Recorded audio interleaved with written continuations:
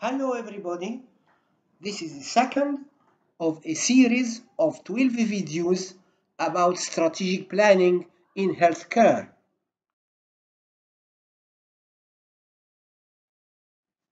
In this video, we will talk about how to organize for successful strategic planning.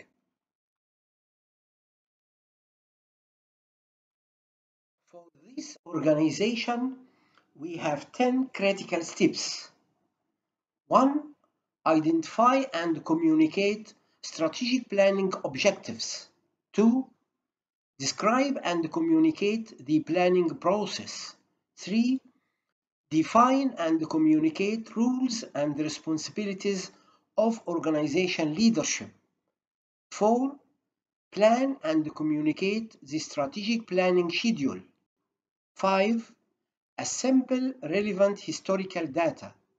6.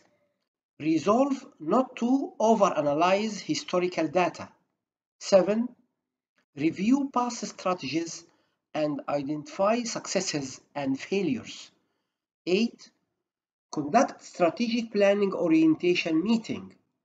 9. Prepare to stimulate new thinking. And 10. Reinforce future orientation. General strategic planning objectives as strategic planning will allow our organization to allocate scarce resources in the most effective manner possible are probably not specific enough. More specific strategic planning objectives should be established as whether to remain a freestanding entity, how to respond to decreasing reimbursement per unit of service provided, whether to or how to develop and offer an integrated continuum of care, and how to position for managed care. It's the role of senior management to clearly define these or other objectives. For the strategic planning process, review them with board leadership, physicians, and other important stakeholders. Describing and communicating the planning process include the situation analysis, strategic direction, strategy formulation, and action planning. To define and communicate rules and responsibilities of organization leadership.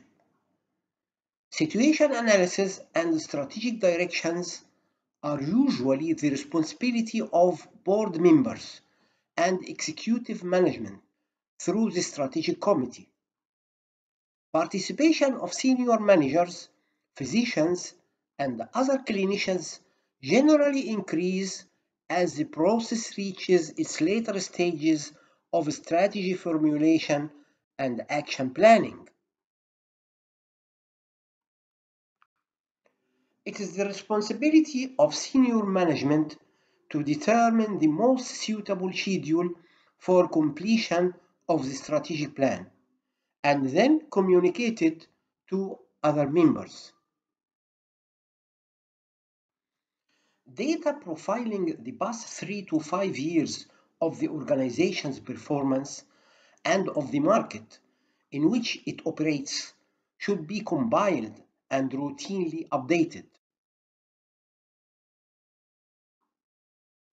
Although it can be comforting to focus on the past and dwell on the known rather than the unknown, strategic planning is primarily focused on preparing to deal with the future. There is clear value in understanding past successes and failures, but organizations should resolve to use historical data for its intended purpose of guiding future forecasts and strategies. We should review past strategies and identify successes and failures. A strategic planning committee is established. This committee should have its initial orientation meeting during this phase. The strategic planning committee is usually an ad hoc or standing committee of the board and therefore includes significant representation from this group. Physicians should be well represented on the strategic planning committee. This project initial session should aim to describe and discuss strategic planning objectives, review and revise the strategic planning approach and scheduling, including identification of key project meetings and other milestones. Review the initial database and identify sources for any additional data required. Identify other primary market research to be conducted, including intended audiences and purpose of market research.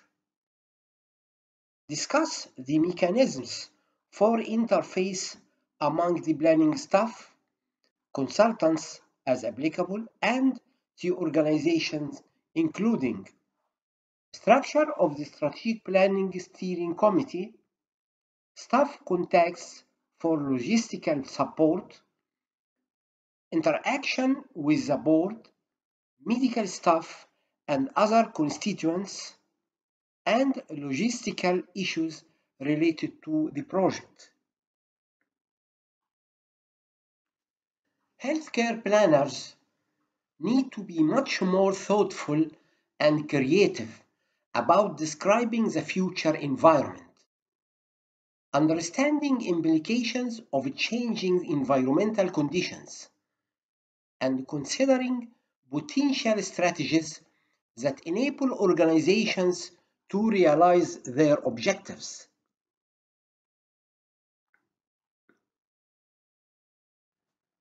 To counter the tendency to overemphasize the past and present circumstances, organization leaders need to break with the past and consider alternative future that are very different from today's known circumstances.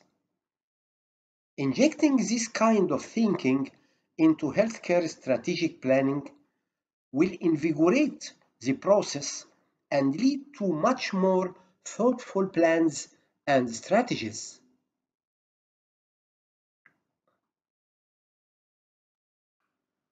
Thank you. For more videos, please visit my Facebook page, Healthcare Quality.